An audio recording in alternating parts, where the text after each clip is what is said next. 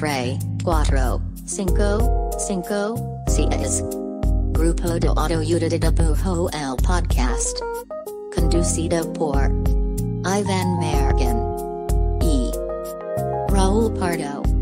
Bienvenidos.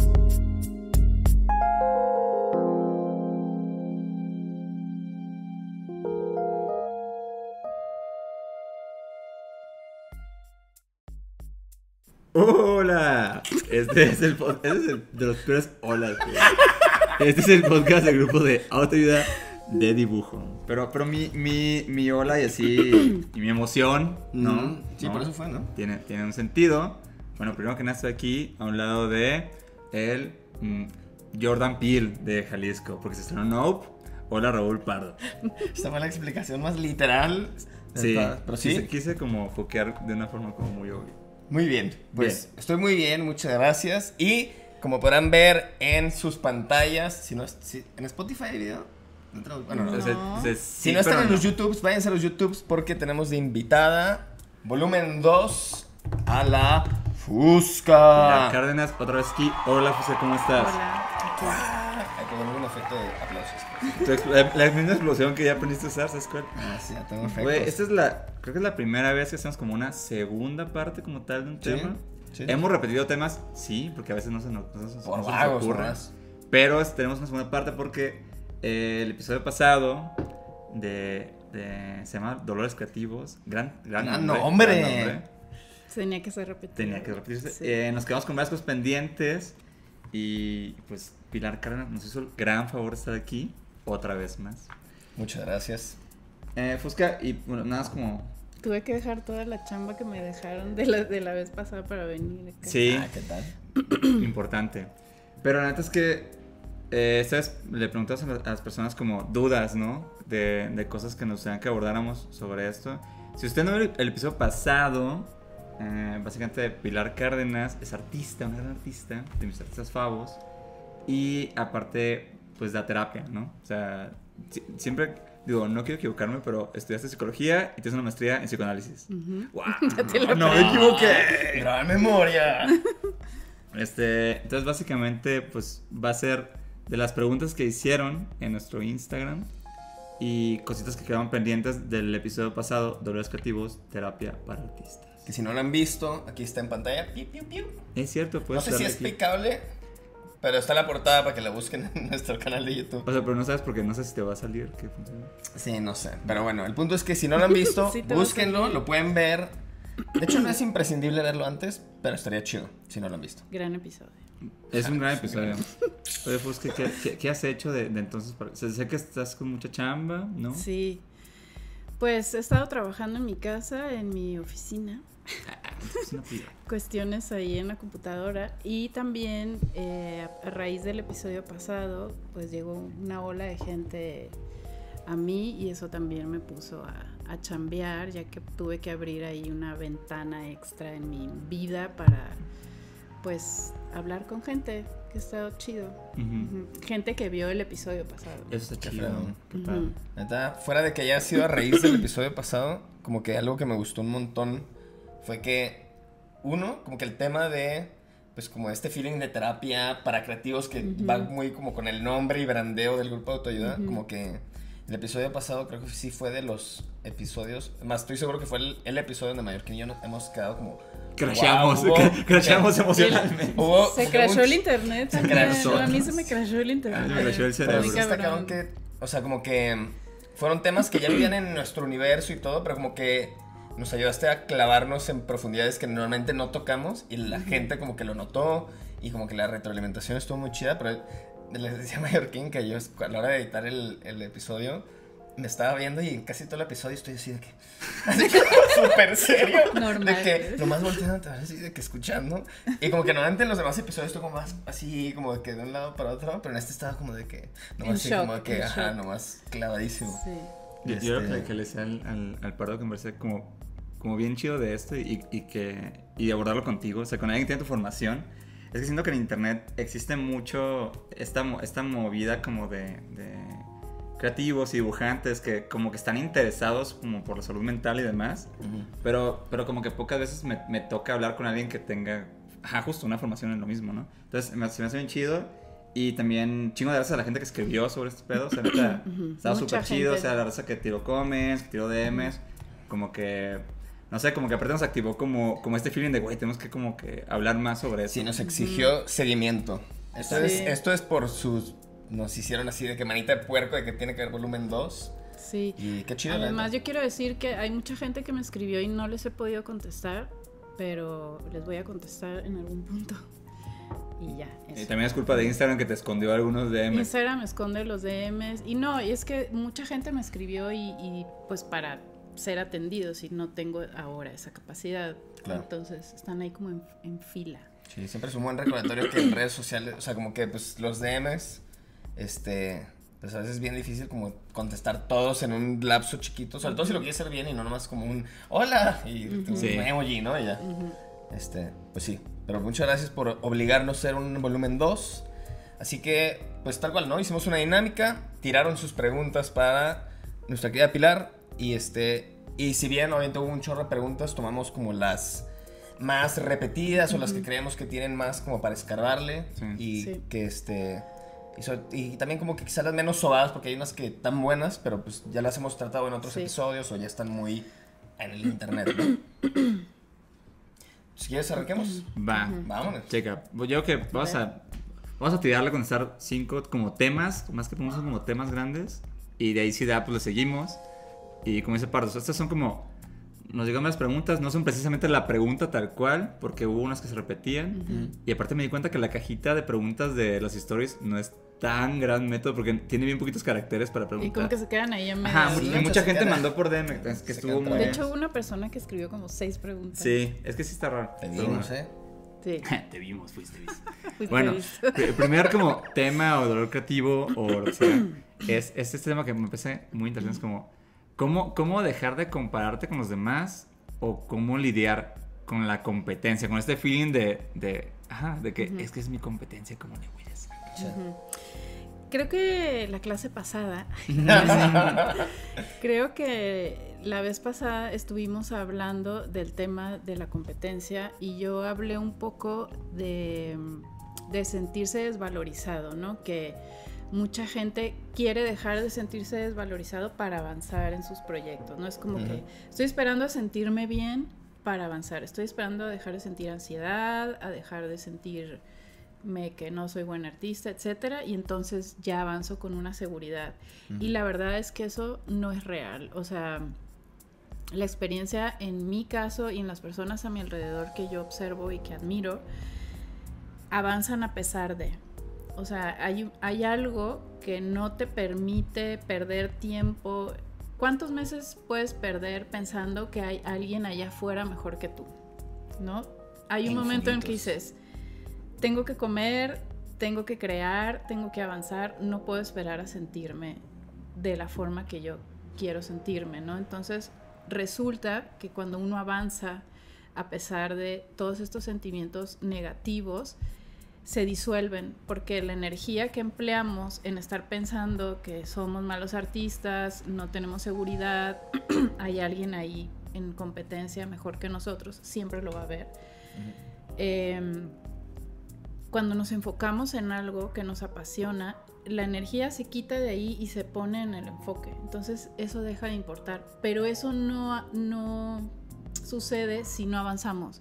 O sea, en, en la acción, en el movimiento, toda la energía se va a tu objetivo y es como, tenemos como esta visión túnel Sí. entonces, ¿qué hizo fulano y sultano? Ay, mira, pasó un mes y ya no estuve preocupada por esas cosas. Entonces es como el mismo enfoque y, y la energía en la acción lo que te va como a desenfocar de todo esto que te preocupa, ¿no?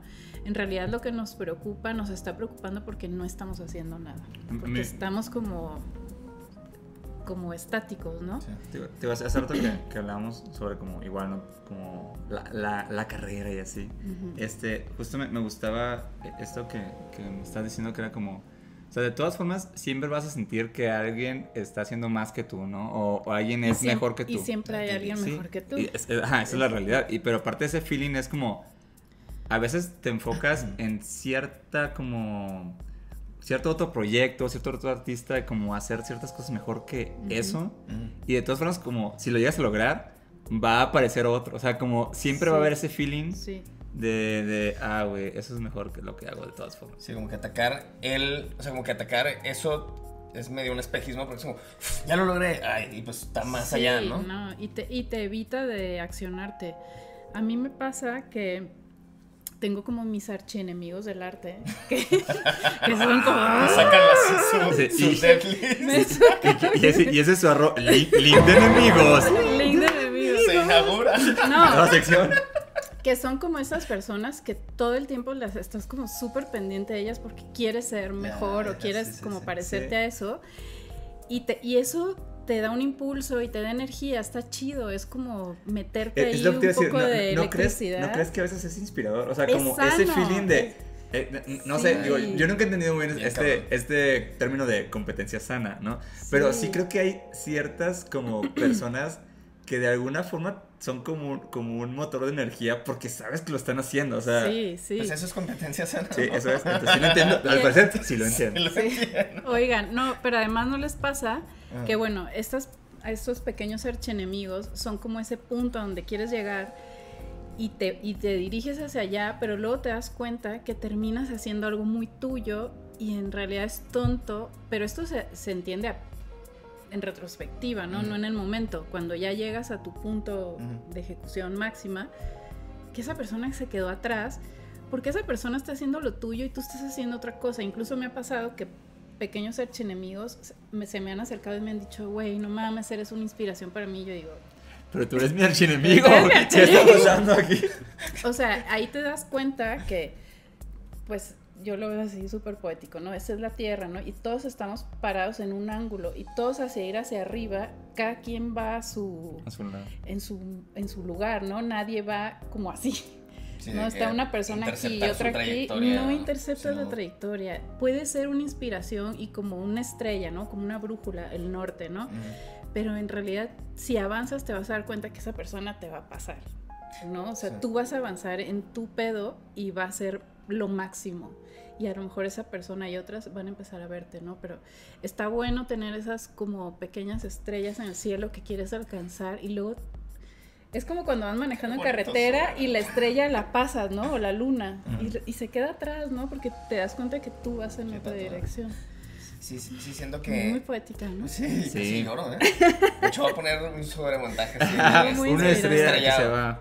Pero justo como que siento que por muchos años veía justo la como la carrera de ilustración en específico como una pues sí, como una carrera lineal, ¿no? Y es como de que no, pues así como si el maratón de la Ciudad de México, el maratón de la ilustración es como Sí. Ah, empiezas pero así sí. y luego acá Sí, y es como ya sí. vas en esa curva, no, pero este güey que tiene cinco años más va aquí, de que en cinco años llegaría a esa curva, o sea, era tan Ujú. lineal que en cuanto dices como, ay no, pues cada quien tiene su mapita y su trayectoria, su trayectoria, pues es como no tiene ningún chiste. O sea, te sirve la inspiración de que qué gran atleta, pero no de en dónde va en la carrera y dónde voy yo, ¿no? Sí.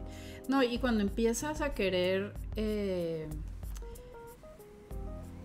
hacer mímica del arte de otra persona o hacer exactamente la carrera que hizo otra persona, como trabajar para las mismas marcas, las mismas galerías, te pierdes. O sea, ¿por qué? Porque siempre vas a estar atento a lo que esa persona haga, porque ya es quien da la instrucción, el otro, Sí. ¿no? No tú mismo. Entonces te vas a estancar ahí en un momento y eso tampoco está chido. ¿no?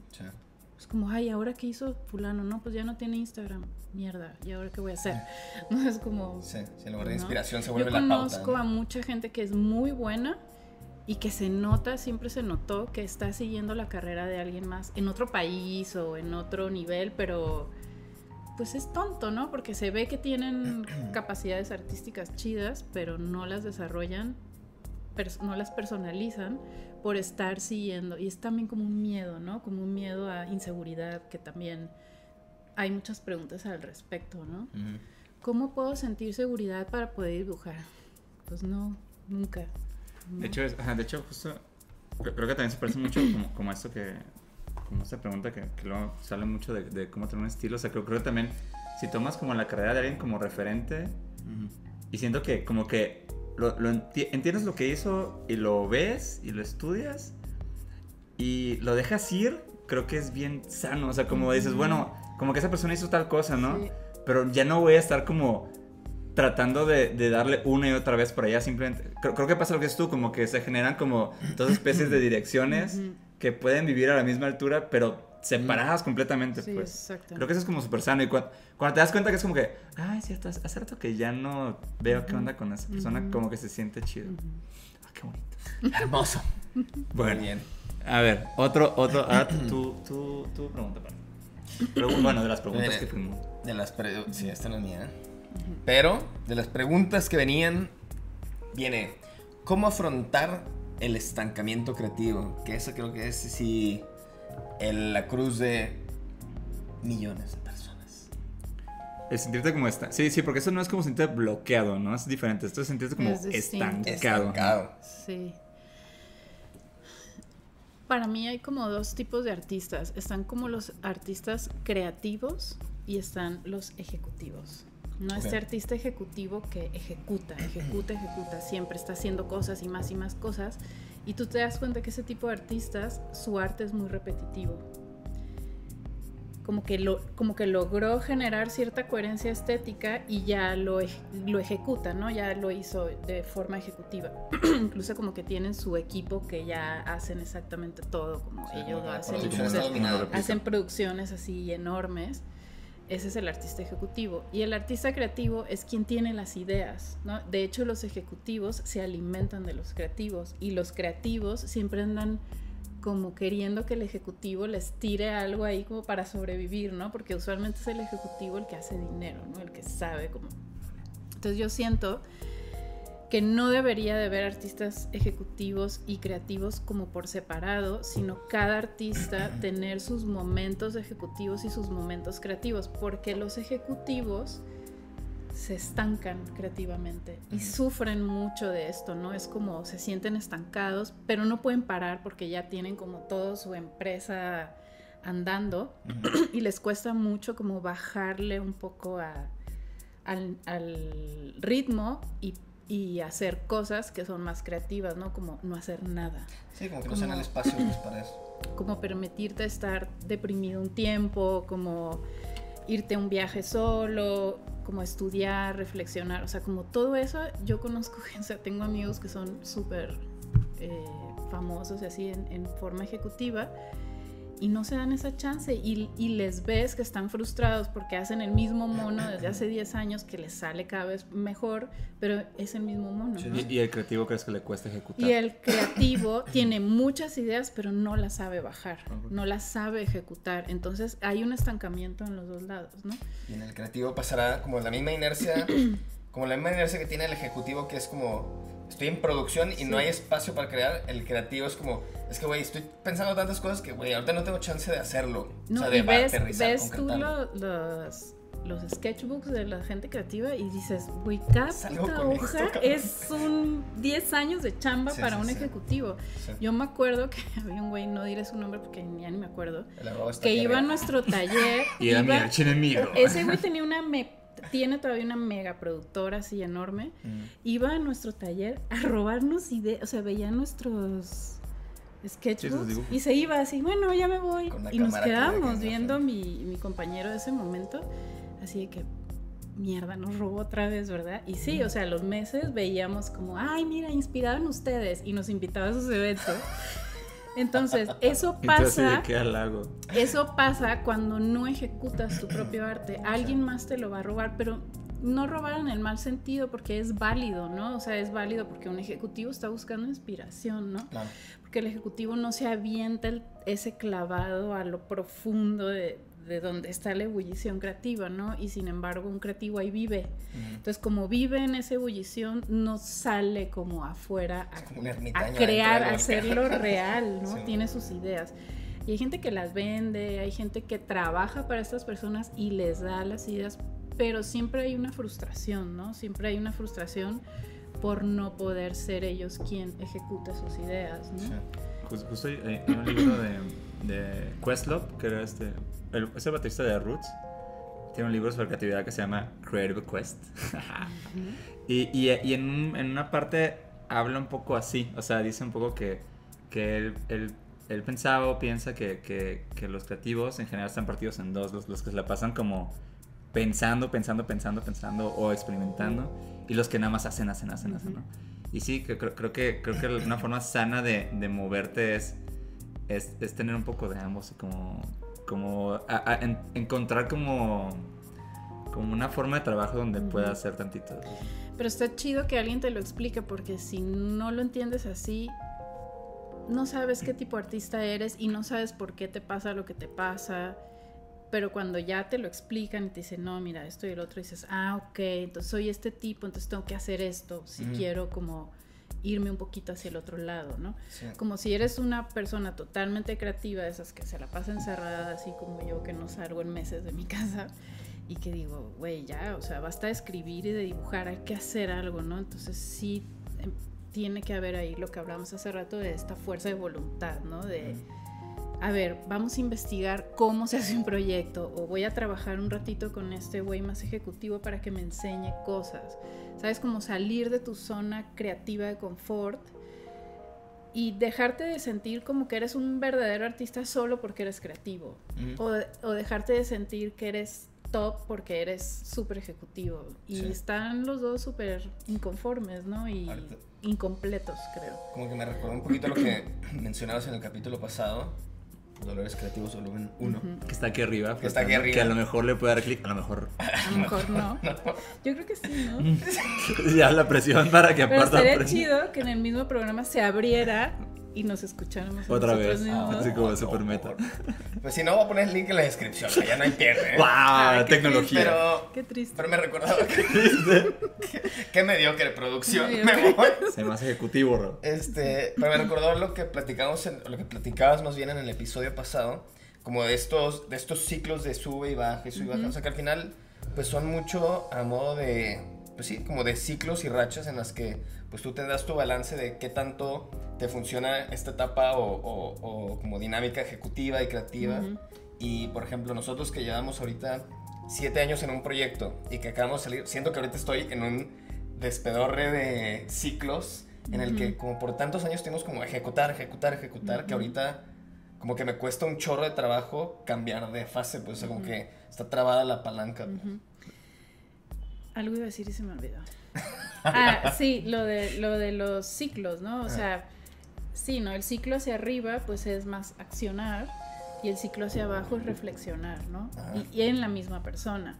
Pero como ves estos artistas que solo quieren accionar y se tienen que mantener en acción vía artificial, ¿no? Como pastillas, eh, otro tipo de químicos como para alterar el sistema y estar como en ese hype todo el tiempo, ¿no? Que lo dijimos la vez pasada.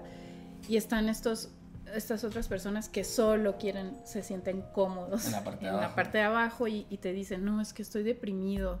Que es real, o sea, sí se siente una depresión real, pero también está como eh, apoyada por cosas que hacemos, ¿no? Por ejemplo, si fumas un chingo de mota todo el día, es obvio que te vas a mantener, no te vas a poner nada ejecutivo. ¿no? Bueno, y, y no creen también que, o sea, que mucho tiene que ver, o sea, siento que de entrada como en el mundo artístico siempre hay como dos figuras, ¿no? Como, como el gestor, o sea, como la, la figura que hace, Ujú. el, quien hace las expos, Ujú. quien consigue los conectes, Ujú. quien trae los clientes, o sea, como que es una figura, ¿no?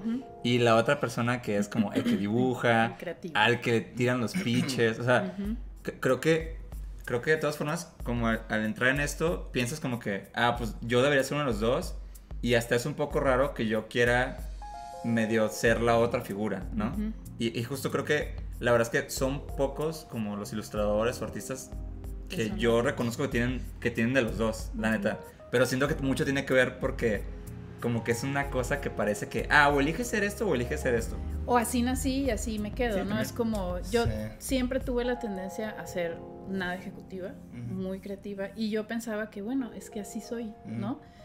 Pero es que todos nacemos de una forma, pero la cosa es que es, es como cuando compras una computadora, tienes tu Mac nueva y trae unos programas ahí, o el celular, ¿no? Trae unas aplicaciones. Es como querer decir, ah, ah, voy a usar mi celular con lo que ya viene. Y en realidad tú lo que tienes que hacer es borrar algunas y poner otras que sean de utilidad para ti, ¿no? y, y no lo hacemos, ¿no? Es como que, ah, no, así nací y así me quedo, es mi naturaleza.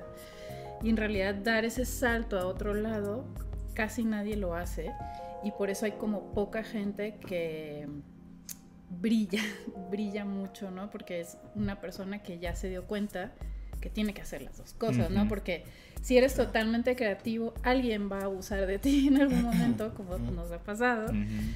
Y si eres muy ejecutivo, vas a tener que abusar de otras personas. ¿no? El típico de, ay, contrata a esos dos marihuanillos, son bien chidos, pero ay, págale cinco pesos. Sí, se, empieza a volver esa figura Sí, medio shady, ¿no? Como, como un de los negociante. dos lados, sí, ¿no? sí, Sí, claro. Tú te Ambas vuelves la víctima, abusan de mí. Sí, Ambas exactamente. necesitan- exactamente. Sí está cabrón como... Y se refuerzan un montón estas, como estas imágenes, o sea, como que hasta, o sea, en el mundo de, de las artes visuales es muy meta estas referencias como de que, no, güey, es que de hecho a mí me va el lado business y el lado como de Ajá, no producción. importa. La neta, yo solo lo hago por el arte y es como, Ujú. qué chido, pero la neta, No justo de las personas que conozco que, que sí, con el tiempo he visto cómo emparejan como esos, como si fuera videojuego, que esa- tenías hasta aquí los stats y hasta aquí el otro y los emparejan. Como que es de las personas que veo como, güey, qué perra inercia agarraron, porque justo como que, como que es un muy buen balance que nomás da para adelante. Bien cabrón. Sí, Yo, yo recuerdo mucho, una vez como un consejo sobre esto, que hace mucho yo era como trainee de una pintora. Y, y ¿Sí? Ajá, ya sé, hace mucho. Pero iba empezando como a, a hacer dibujos y gráfica, ¿no? Y, y justo yo recuerdo que yo, yo como que estaba dibujando o aprendiendo a pintar así. Y quería como eso, ¿no? Como que, ah, ojalá alguien me invite a una expo, ojalá no sé qué. Ujú. Y sí recuerdo que me dijo, güey, trata de hacer un proyecto como de A a la Z, como hazlo todo, así como... O sea, tú hazlo todo, así, Ujú. nada más para ver cómo te sale y para que vivas cómo es el pensar algo, ejecutarlo y, y que fracase o que funcione, Ujú. ¿no? O sea, que signifique como, ah, voy a hacer una expo colectiva, pero pues yo también soy artista en la expo y aparte gestiono. Y entonces, como que ese trip se me quedó muy cabrón el hecho de, güey, haz una cosa así como, sácala de tu sistema toda, güey. O sea, no nomás tengas la idea o las ganas de ser parte de algo y, y ve qué pasa, güey. Y, y el, y el estar como, como, o sea, el ser parte de todo el proceso, siento que uno como que, creo que, que- creo, creo que eso genera ese flujo de siempre tener otra idea, porque te, te deshiciste de neta de lo que tenías. O sea, ya no hay forma de que, que esa idea me siga en la cabeza como que, ah, ¿cómo sería hacer una expo? Y dos, como que en el proceso entiendes un poco sobre las dos, sobre, esos dos polos y de neta como que te gusta más o dónde funcionas más. De hecho, no sé si sabes, pero Iván y yo nos De conocemos. hecho, así te conocí un Así poco. nos ajá. conocimos. O sea, yo estaba en Culiacán y él estaba en Mazatlán y yo tenía mi proyecto que se llamaba Guachapore. Y, y- y era más de gestión realmente. De Ah, gestión, o sea, hacíamos expos, festivales de graffiti, cuando no existía eso, ¿no? Lo hacíamos nosotros porque nadie hacía eso en la ciudad, ¿no? Y éramos los artistas. Y eh, Iván y yo nos conocimos porque ay, hay unos chavos en Mazatlán que pintan, entonces yo los invité a mi... Llevabas como tres meses pintando. invité a él. Y yo sí, claro. Y, y- Lo invité a él y llegó como con ocho güeyes, Se los buje, Sí, con todo, con todo bien. todo con todos los buques, Todo y empezamos... ya em- Ahí me enteré que él también tenía su propio proyecto y ellos hacían sus expos y todo, entonces así nos conocimos Ah, qué chido. ejecutando. Sí, y está bien loco. Y fíjate que me acuerdo, o sea, y me acuerdo, me acuerdo que ese día estaba, va a sonar bien artístico, pero ese día estaba yo en el Museo de Arte de Mazatlán. O sea, yo nunca estaba en el Museo de Arte de Mazatlán. Estaba con mi boina. Esa, esa vez. De hecho, me acuerdo que tenía un godete en otra mano. Tenía, tenía el celular y tenía el godete en otra mano. No, o sea, no sé por qué. no, Bueno, sí, me, tenía. Estaba haciendo algo en el Museo de Arte, de un, algo de un taller. Algo artístico. Algo, seguro algo artístico, ¿no? Sí, Soy muy artista. Y me acuerdo que me hablaste y. eh, De hecho, creo que el, creo que el Pepe. No sé, alguien te pasó mi, mi teléfono. Y me El ángel. de, bueno, tengo una expo en, Culiacán, ¿no? Y yo, yo estaba en Mazatlán, para mí ya era como que me invitaran a otro Sí, municipio. Güey. Esa es la capital, es la capital del mundo. Wow, chicos, la capital, no sé. Entonces, en eso literal estaba con los lo demás. logramos. Estaba con los demás Bunker base y así. Y ya como que, hey, tenemos una expo en Culiacán. No, Pero realmente me habían yo invitado a mí. invité a ti. pero yo, yo le dije a todos, oigan, creo que tenemos una expo colectiva en Culiacán. Y ya fuimos, pero, pero eh, se me hizo bien chido como, ja, te conocí, tú pintabas, pero como que al mismo tiempo... si- Siento que eso también fue como algo que, que tuvimos que aprender, como, güey, si queremos ser parte de expos que como que tengan esta como esta línea que nos llama y no existe, pues vamos a tener que inventarlas, pues, porque Ujú. realmente, o sea, obviamente en Mazatlán, en Culiacán hay- hay arte y hay mucho tiempo habiendo arte, pero ese como, Sí, ese ese punto que, que buscábamos, Sí, lo que la querían, neta pues. no había, No había. pues, ¿no? Ajá. Ujú. Yeah. Y gran historia de cómo colea, Sí. cómo crashé una expo con ocho amigos. No, me acuerdo que me llamaste y te, y te dije, bueno, ahí voy por ti a la central. Oye, pero somos ocho. Tuve que conseguir una camioneta. Pues yo dije, es Culiacán, todo el mundo tiene una camioneta aquí. Claro que alguien trae una camioneta, o sea, no va a pasar. Ay, qué, Qué bonito. risa. Pero aparte, qué chido- de solidaridad, güey. No, y al final, todos expusimos, o sea, yo expuse en un paso, Todos el base pintar, expuso, el, todos, nada, sí. todos expusimos, todo Y bien nos chido. hicimos mejores amigos. Eh. ¿ven? ¿Qué tal? No estoy feliz. Consejo, crashé en expos, amigo. Saludos a los buques. Bueno, eso sobre el estancamiento. Sí. Tres. Ok. Este me gusta porque es una gran, creo que es una, como un feeling muy genuino, ¿no? Sí. La neta, cómo dar el salto, o sea, cómo pasar de, de una chamba a dedicarte de tiempo completo a hacer arte, proyectos creativos, lo que sea. Bueno, justo le, com- le comentaba a- aquí a mi compa que yo hay cosas que como que no me puedo relacionar tanto porque a mí me sucedieron de otra forma, ¿no? Yo nunca tuve una chamba, siempre como que me fui de lleno a esto. Bueno, Bueno, lo que contabas, como que acabaste de estudiar tu maestría y Sí. todo y te dedicaste a pintar. Entonces yo no entiendo ese dolor de tener una chamba que me ata, pero el arte me ya, o sea, eso no lo, Sí, sí, sí, sí, no lo he vivenciado, pero veo que mucha gente actualmente está atado a trabajos que los matan, ¿no? Es como, me está matando esto, ¿no? Y yo en realidad no entiendo por qué lo hacen, pero bueno, ten- ha, ha de haber razones, ¿no? Y yo veo como que la gente tiene mucho miedo de no tener dinero, de no poder pagar la renta. Entonces le vendo mis ocho horas ah, diarias a alguien y lo poquito que me queda quiero es hacer arte, pero en realidad el arte requiere mucho más que eso. Y eso es obvio, ¿no? Si no, no estuvieran frustrados, ¿no? Ellos saben que no pueden vivir así, ¿no? Entonces, por eso se llama como dar ese salto, ¿no? Porque no hay nadie que te pueda decir, ah, mira, este es el instructivo para dar el Claro. salto.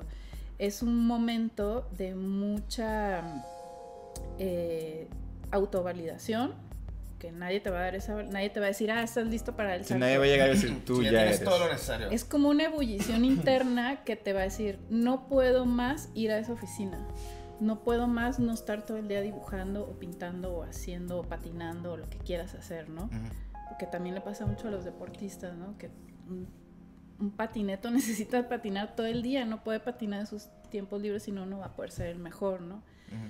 Entonces mucha gente quiere ser el mejor, por lo menos para ellos, ¿no? Entonces dar ese salto es como algo muy personal, ¿no? Y requiere mucha fuerza de voluntad.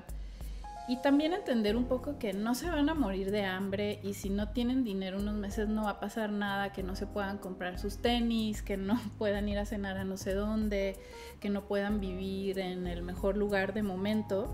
Pero creo que vale la pena después, ¿no? Porque si sigues un camino genuino con tu pasión, pues la vida te recompensa, ¿no? Y te lleva a lugares chidos, güey. Yo no conozco a nadie que haya dado ese salto y haya dicho, ay, me arrepiento. Ujú. Al menos que de plano se haya inventado que tiene vocación artística, ¿no? Porque Sí, ya que eso no es de plano eso, sí. que no tienes vocación, ¿no? Eso, eso Pero es- eso es una. Yo creo que toda la gente que conozco que, que se dedica a esto y, y que como que lo vive, creo que uno, como que todo el mundo tuvo ese punto donde dijo, güey, voy a hacer esto. O sea, Ujú. lo voy a hacer. Ujú. Y sí, creo, creo que creo que no conozco o son mínimos los casos de que de que dan para atrás. O de que dicen, no, o sea, es que esto. lo no". hice, eh, me fue peor. Ajá. No, no, o sea, como no- que a todo el mundo como que lo. Pues sí, como que lo vive cabrón, pues. Y se, y se vuelve justo parte ya. Es que, es que como que creo que. O sea, dibujar, ilustrar, hacer arte, como que. Sí, no, no se vuelve una. O sea, no se vuelve una. O sea, es un trabajo, ¿no? Pero se vuelve como. Pues es- es una identidad, o sea, se vuelve como parte de, de ti, cabrón, en todo, como, como muy integral. Pues. Y yo no conozco a nadie que, que haya tenido éxito en su chamba dibujando tres horas diarias. O Sí, no. haciendo como, ay, lo mismo. No, no Sí, no, ni existe de eso. Eso creo que es clarísimo que ni de pedo se arma. No. Y esta pregunta en particular, porque esta pregunta se da for life, ¿no? O sea, Sí, esta sí, pregunta sí. está cómo del paso. Es como ayúdame, por favor. Sí, sí, God. Y, No y- y creo que empuja. justo es una pregunta, Te puedo empujar. es una pregunta muy repetida porque justo necesitamos, o sea, todos nos, o muchos nos hemos encontrado al borde de, "Puta, quiero dar el salto, pero güey, si nadie me empuja a esta alberca que parece estar helada, es como ni de pedo voy a saltar yo solito, ¿no? Nunca te sientes listo.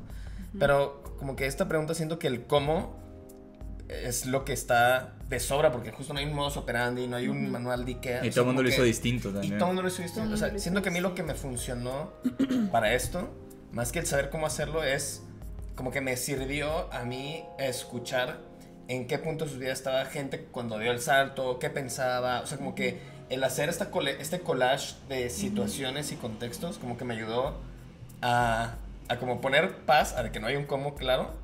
Y como que yo decir como, ah, güey, pues yo me encuentro en una situación bien similar, ya no aguanto no hacer esto, ya no aguanto no estar metido en esto y claramente hay una crisis de identidad porque yo siento Sí. que debería estar haciendo este pedo. Ujú. pues.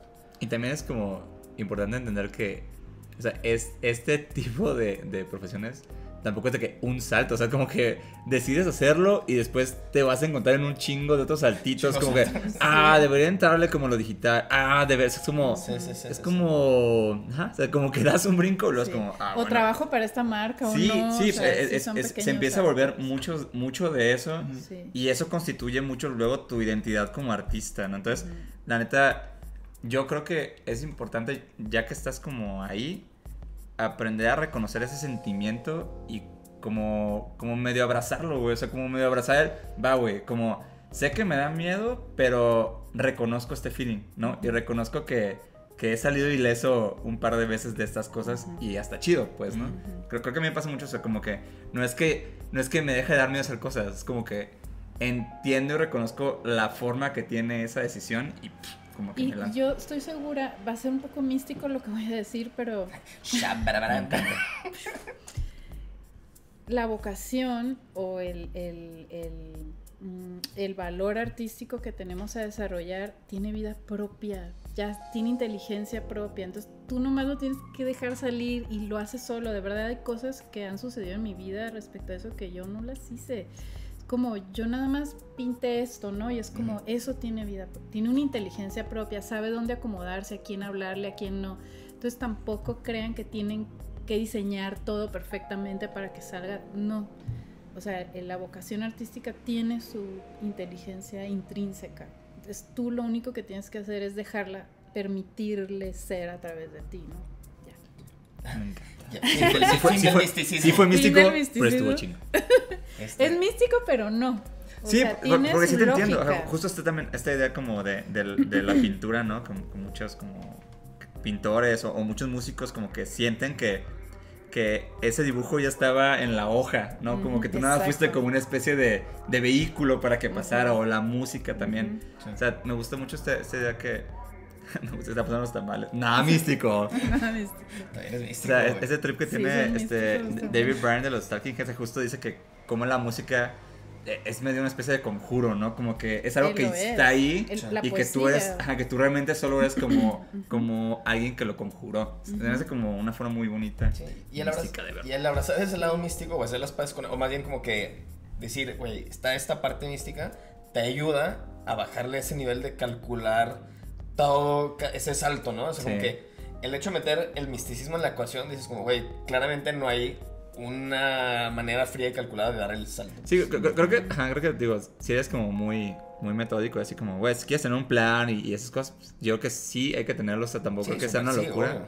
Pero la verdad es que tienes que entender que gran parte del plan es estar listo para cambiarlo, pues, ¿no? Porque van a pasar muchas cosas que no sabes cómo se mueven, que no sabes cómo pasan, pero es totalmente parte de ese trip, o sea, es Todo es parte del peor viaje. en tu cabeza, güey. O sea, en tu Eso cabeza. está, muy, cab- es eso está muy cabrón, eso es totalmente Sí, cierto. sí. Sí, así, siempre es así. La vida real nunca es tan cruel como somos nosotros. Sí. eso- ese es Anótenlo el y ya. mejor tip del mundo, o sea, es- ese, ese, el escenario horrible que imaginas, No no, va a ser tan horrible, neta. Van a pasar cosas horribles, pero no te las has imaginado. Ah, y eso es lo chido, eso es lo chido de lo horrible no que lo no pensabas. esto sí, la gente así en la pantalla de que, ah, qué bueno, qué gracias, me hizo sentir mejor. Ay. Bueno, pero también van a pasar cosas buenas, o sea, Ah, no- no de ser como no sobre esperabas. optimista, pero como pasan cosas malas, Claro, pasan obvio. cosas buenas también. Y eso, o sea, creo que solo es parte de hacerlo, pues, ¿no? es la vida. Wow, La vida Muy bien. A ver, pues, Pues la verdad es que lleva un rato. Yo digo que nos, nos vayamos con esta última. Hecho. Porque parece que no, pero ya avanzamos. Sí, ¿cuánto Místicamente hemos Llevamos avanzado. un buen reto de 40 minutos. Ok, ok. Místicos. Pues a ver, ahí les va. Que esta también es muy repetida. ¿Cómo mantenerse motivado o motivada? Que es el típico como empiezo algo y no lo termino, estoy desenfocado. ¿Cuál? ¿Cómo solucionar eso? Bueno, creo que la gente no se motiva y no se enfoca porque no tiene objetivos claros que están eh, unidos a lo que realmente les apasiona. O sea, se quieren enfocar en cosas superficiales o se quieren enfocar en hacer cosas que creen que están chidas en el mundo del arte. Entonces, eso aunado a que quizá no tienen una necesidad económica porque tienen otra chamba. O sea, esto de no, estar motivados les pasa a personas que ya tienen cierta seguridad económica y que no tienen un objeto muy claro. O sea, no me refiero, perdón, un objetivo, como lo que decíamos, ¿no? De, ay, quiero ser famoso, eso no es un objetivo. No, es muy, muy vago. Es ¿no? muy vago, ¿no? Es como... Ah, oh, oh, mi objetivo. Demonios. Se cayó. Sí, ¿no? Es como tener un objetivo claro y, y ser conscientes de a dónde te lleva ese objetivo, o sea, para qué quieres, ¿no? Por ejemplo, yo eh, quiero aprender a dibujar pies y alguien me ve dibujando tantos pies y dice, ¿por qué se clavan los pies? Ah, es que tengo la idea de hacer un mural con puros pies, ¿no? Entonces quiero como el primer paso es saber dibujarlo. comunicar, atraer los pies, entonces tengo que hacer un montón de pies. Pero tiene, tiene un objetivo muy claro mi acción de estar dibujando pies, que en realidad eso me pasó, ¿no? Entonces, si no tengo la motivación aunada, a- incluso la puedes aunar a, a- a un incentivo económico, ¿no? Es que. Y además necesito ser la mejor piecera guau, me encanta Wow. el nombre. Se está abriendo todo un nicho que no conocía. Porque necesito pagar renta y es la forma en la que yo quiero llevar mi vida, ¿no? Quiero pagar mi vida a través de hacer pies. Entonces tengo que dibujar muchos pies. Entonces así es como vas uniendo un- una actividad con otra y eso es lo que te mantiene motivado, ¿no? Pero si tu, mo- tu motivación de vida principal la tienes medio cubierta, Ujú. Es bien raro que algo creativo se te mantenga, ¿no? Por ejemplo, ahora ustedes que se dieron el salto, tienen esa motivación, ¿no? ¿Sabes qué es esto o no es nada, ¿no? Ujú. El Entonces- pagar la renta es una gran Para la motivación. gente es una gran motivación, ¿no? Entonces, yo creo que ser coherente en tu, tener todo en coherencia en tu vida, tu chamba, cómo ganas tu dinero, quiénes son tus amistades, a dónde sales, a dónde no, qué lees, qué ves en la televisión, o ya no existe eso, ¿no? En Bueno. el Se ha cable. extinguido. ¿Qué música escuchas? O sea, todo eso, si lo tienes alineado, Ujú. todo va a ser coherente. Pero yo veo que hay mucha cosa de no estar alineado, ¿no? Es como que, ay, no, mis intereses amorosos, eh, no, pues mi novia es secretaria y de una farmacéutica, ¿no? No tiene nada que ver con lo que yo hago. Y mis roommates son bibliotecarios, pero yo soy ilustrador, entonces como que tu vida está ahí medio descuadrada, ¿no? Y me gusta leer me gusta leer, o sea, algo que no tienen, no, como que no unen Ajá. su vida, ¿no? No la tienen como conjugada dentro de un, Ujú. un todo mismo, ¿no? Es un poco como el- el- lo, de, lo de dar el salto y como aventarte a vivir a vivirlo como lo más completo que puedas. Sí, ¿no? Lo más coherente una cosa con otra. Sí, siento que ahorita lo que dices es como de. O sea, la motivación viene del enfoque, se podría decir. O sea, de, si estás enfocado como con el Más bien el enfoque viene de la motivación, ¿no? O sea, a ver, creo que la motivación también, analicemos esa palabra, está muy ahí en el aire. Hmm. O sea, ¿qué es estar motivado, no? Yo siento que si es una actividad que de esas que se te pasa el tiempo, que dices pasó una hora y se sintieron cinco minutos, Ujú. eso es enfoque. ¿No? Si Sí. tu actividad no te está llevando a eso, hay algo que está mal. Ujú. O sea, es de raíz, o sea, en la actividad tal vez. Sí. O sea, yo Tienes siento que perder en el tiempo para enfocarte, ¿no? Y si no estás logrando eso es que no está viendo enfoque y cada rato estás viendo el celular o ay, me dio hambre, voy por un pancito. Ay, qué rico. Yo, lo que- o sea, como si yo entiendo la motivación, o al menos así la digo yo, que es como, o cuando siento la falta de, siento que es como cuando no tengo la fuerza de voluntad para decir, como en el ejercicio de que, bueno, ya, ching su madre, hoy voy a hacer ejercicio. O, sea, porque no estás conectado con esa actividad, sientes que la tienes que hacer por otras razones que no son lógicas para tu ser. Sí. Por ejemplo, hay gente que quiere hacer ejercicio pero no está motivada, entonces pues no hagan, porque no lo vas a poder mantener en el tiempo, ¿no? Y, y qué otra cosa. Lo mismo con las actividades artísticas, o sea, si tu motivación es solo querer tener muchos likes o que no sé quién me dé like, o motivaciones tontas, Sí, no las vas a poder mantener en el tiempo. En cambio, si tu motivación es, no, pues yo sufrí mucho en mi juventud porque me decían tontito, pues ahora no voy a ser tontito. Voy a ser Entonces, listito. Es que es una moti- voy a ser listito. Entonces es una motivación muy profunda, ¿no? Que Sí, es como muy pasional. como dije la vez pasada, está conectado con tus conflictos Ujú. más internos, ¿no? Si, si tu actividad artística no está conectada con eso, no te vas a poder motivar, ¿no? Luego siento que, que gen- la gente que yo percibo más motivada que digo como, "Güey, ¿cómo le hace para estar todo el tiempo de que sí, Ujú. pinche dibujando y haciendo y ¿sabe qué? Como que muchas de esas personas siento que les ayuda, no, no tiene que ser la única vía, pero les ayuda a tener como proyectos personales a cualquier nivel. Aunque sean bien Ujú. chiquitos, pero es como, ah, de- estoy haciendo freelance y esto, otro, lo que sea, pero estoy haciendo un pequeño fanzine de sabe qué. O estoy haciendo cuatro piezas para, bajo un mismo concepto, pero como que esas como que mini metas les ayudan a, a agarrar, o sea, como que les ayuda a estar motivados y eso ayuda para todo lo demás que están haciendo, no solo para los proyectos Ese es, personales. es como un gran punto. O sea, yo, yo creo que ca- casi no hay ningún artista como relevante que no haya tenido un proyecto personal que detonó algo. O sea, como, como que está esta idea, sobre todo en el mundo de la ilustración, de la ilustración, como que debes de ser validado como por marcas o por proyectos bien grandes. O sea, como que siempre es ese trip de que, no, es que cuando te contacte tal marca, ya estás cabrón.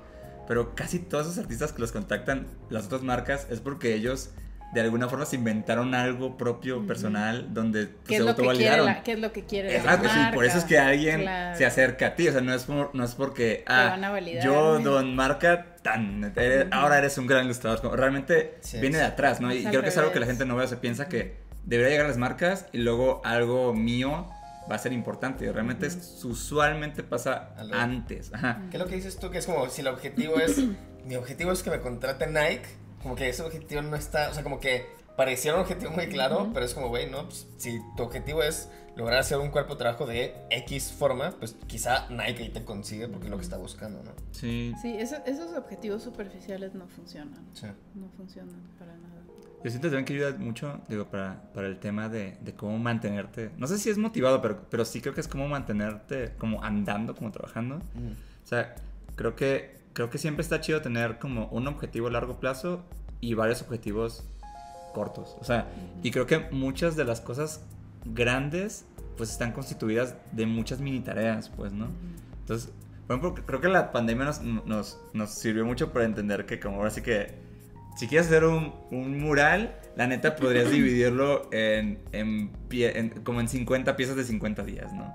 Y, güey, poco, o sea, haz una cosa como al día y vas, eventualmente vas a tener listo esa cosa completa, ¿no? Un pie a la vez. Sí, la neta, es- un pie, ajá, si eres un pie cero, Un piecito a la un vez. pie a la vez. O sea, pero la neta sí, sí creo mucho en eso de, de que, güey, o sea, divide una gran tarea en mini tareas y eventualmente va a pasar, güey. Y es más sencillo y, y es más como claro, como que, ah, listo. Voy a hacer un cómic, voy a hacer una página por día. Güey, esa es la página, ¿no?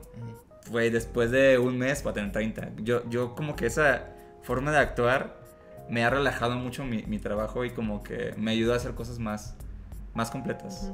Luego hay otro tema que hablábamos hace rato, no sé si estés de acuerdo, No. que muchas personas que hacen este tipo de preguntas, y no es una crítica, pero sí, como que quieren la teoría porque no se atreven a dedicar su vida de lleno a esto. Es como, yo veo que las personas que se enfrentan a este tipo de problemas son personas que dividen su vida en, no, de jueves a domingo, fiesta. ¿no? Es como ya empiezan a pistear desde el jueves, viernes, sábado, domingo. Este. No, yo veo mi serie, o sea, como que le da prioridad a la dispersión.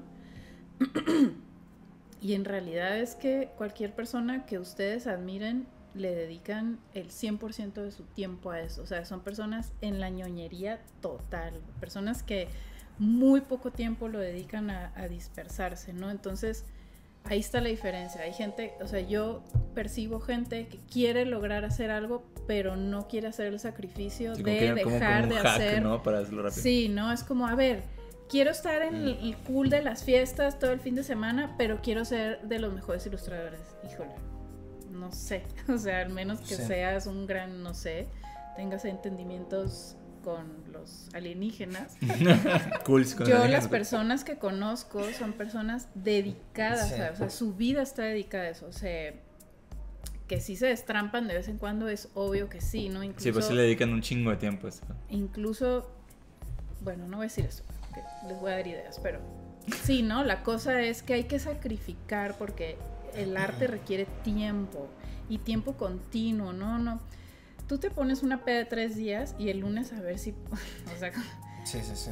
pierdes la motivación. ¿Por qué? Porque ahora tu motivación es sentirte mejor, entonces porque estás como crudo y como que, bueno, ya no siento crudo, pero como que tengo la, la mente dispersa. Entonces, ay, tengo problemas de dispersión. No, no tienes problemas de dispersión, tienes problemas de un chingo de químicos en tu Estás cuerpo crudo.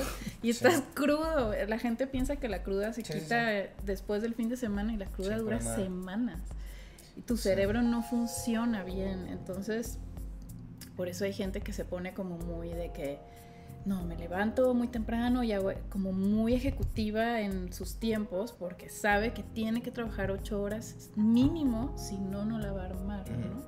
Si no, pues confórmense con ser mediocres, ¿no? En lo que hacen, que tampoco está mal, o sea, es como, ay, ese güey dibuja chido, ¿no? Pero te lo encuentras en las fiestas y está bien, pero entonces no hay un hack, ¿no? No, Sí, sí, es sí. eso. Creo que la palabra hack como que da en el, en el clavo, que tanto puede ser por esta razón de... O sea, siento que se presta mucho el mundo creativo, que tan no tiene planos y e instrucciones, que es, es muy fácil caer en el hack, en la búsqueda de hacksismos, Sí, ¿no? como el atajo, como lo el hizo atajo, rápido. tan- ajá. tanto porque quizá todavía no te comprometes al 100%, entonces como, como le estoy dedicando el 40%, Ujú. pues necesito un atajo o un hack para Claro. poder lograr un resultado de 100%. Sí. No existen Y atajos. pues no hay atajos. Yo sí vi mucha Spoiler. diferencia en mi carrera, o sea, cómo despegó muchísimo cuando hice ese cambio. O sea, de hacerme casi monja, de verdad. O sea, ha habido años enteros en los que Ajá. no he tomado una, una gota de alcohol. Me acuerdo una vez que me dijiste, Pilar, dejaste de fumar mota. No, ya no eres la misma, ¿te acuerdas? No, yo no dije eso. no. Me Te confundiste Me estás confundiendo. Me estás confundiendo. Bueno, eh, tienes, sí, tienes que dar unas cosas por Sí. otras, ¿no? Entonces yo realmente sí soy una persona que súper competitiva y siempre quiero ser la mejor. Este, entonces digo, bueno, pues ni modo, me tengo que parar a las 6 de la mañana porque parándome a las 10 no lo voy a lograr, ¿no? Sí, Son, sí, son sí, sí, sí. decisiones que vas teniendo que tomar en su momento, pero yo nosotros no les podemos decir, ah, miren, tienen que hacer esto, esto así, levante, o sea, no. Claro. Cada quien sabe qué es lo que Y tiene cada que quien hacer. tendrá obviamente también su propia definición de, de- O sea, cuál es su 100% comprometido, ¿no? Y cuál es como el nivel de compromiso que, que puede hacer, que quiere hacer y que está, con- y que está Sí, conforme con sí, eso, pues. O sea, y la neta, pues como dices, todos son válidos. Sí.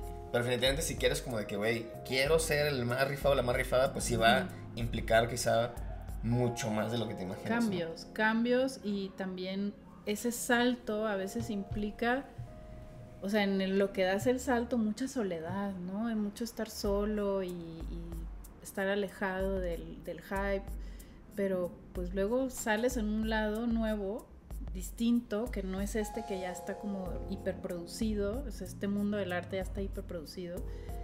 Y, y te das ese clavado, pero es que ese salto es como interno, ¿no? Sí. También es un salto interno que parece que te alejas y que estás solo y que no entiendes nada y nadie te entiende, pero luego cuando resurges, sales en un lugar nuevo que nunca nadie estuvo y luego ay, llega la gente, ¿no? Y como, ay, mira, ese güey fue para allá. Creo, creo- creo que eso es importante, o sea, entender que, o sea, el, el entrarle a algo así va a implicar que obviamente va a cambiar lo que haces, güey, y quién eres y Sí, cómo vives, ¿no? tu identidad va creo, creo- creo que a veces sientes como que, ah, ok, va, entonces voy a ser ilustrador y básicamente quien soy yo y donde estoy va a permanecer más que ahora ilustro. Y la es que, no, o sea, si te metes, en- te metes en algo así, tan, in- o sea, tan inmersivo, básicamente es como, sí, es, es- eso, eso que quieres se va a conseguir, pero todo va a cambiar de alguna forma, Y ¿no? Y no, y es malo ni bueno, o sea, simplemente va a ser diferente, pues. Sí. Y luego vemos como ya los artistas que, o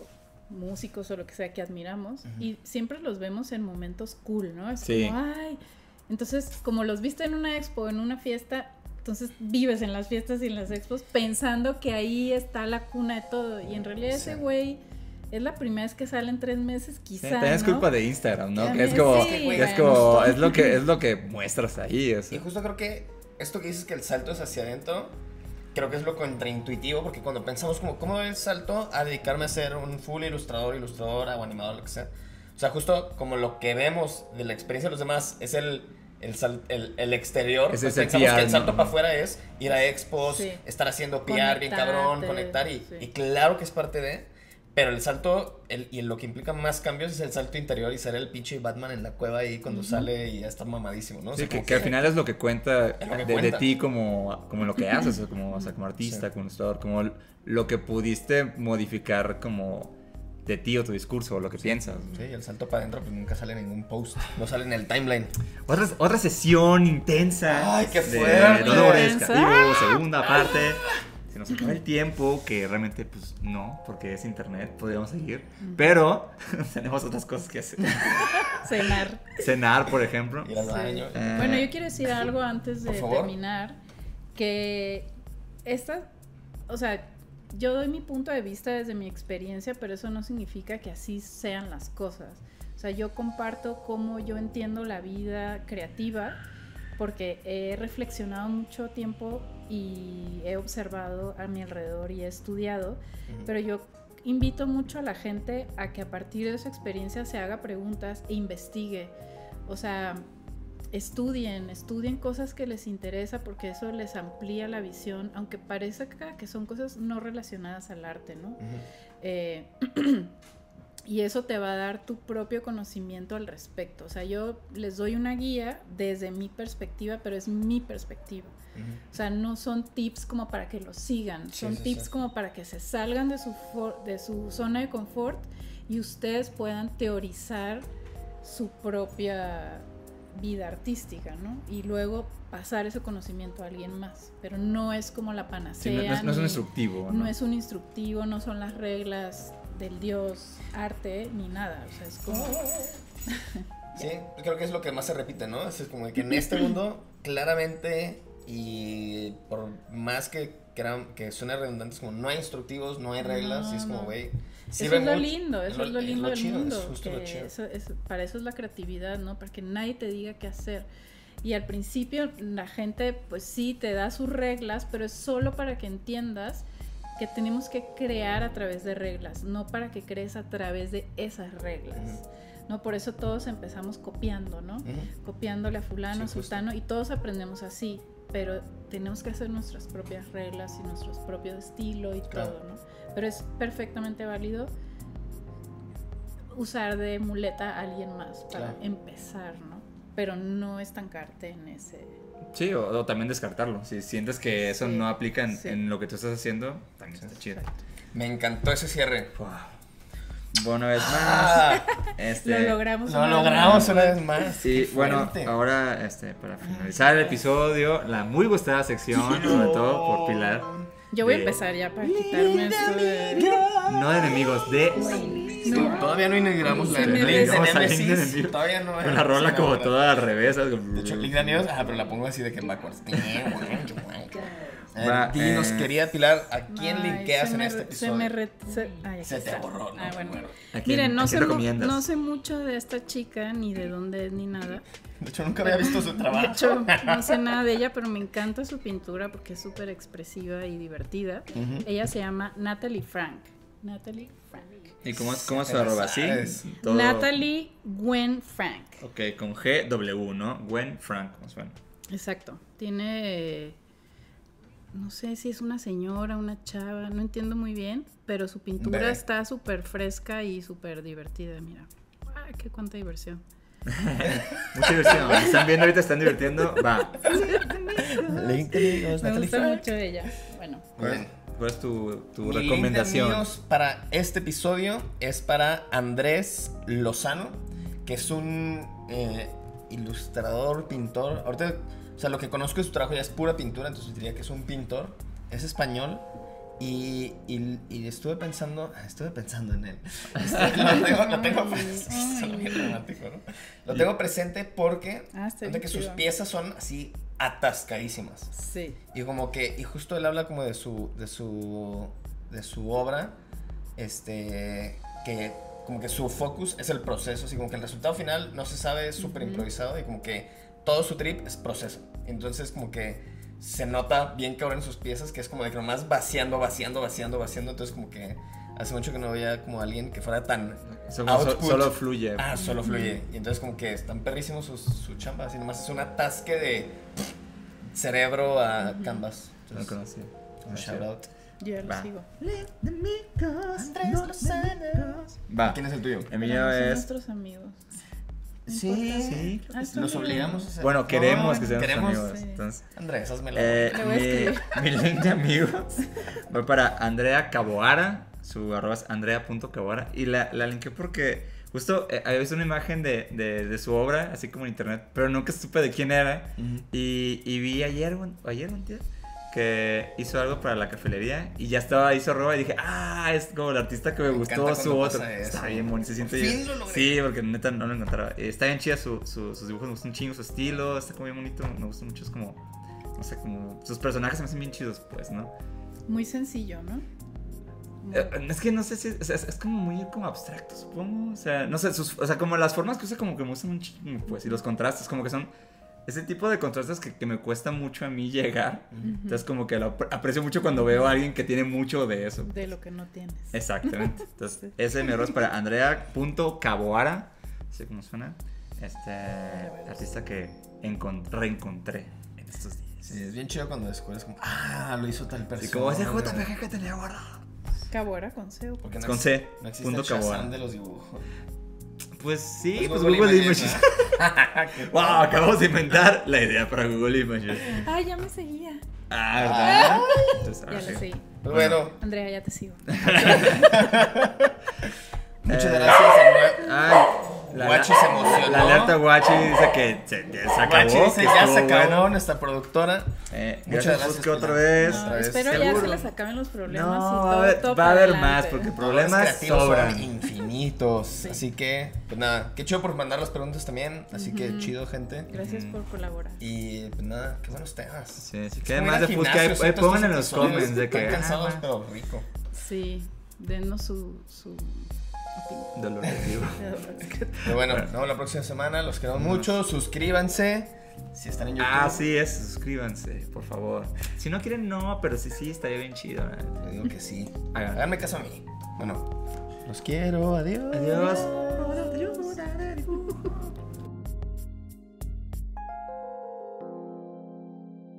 Grupo de Auto El Podcast.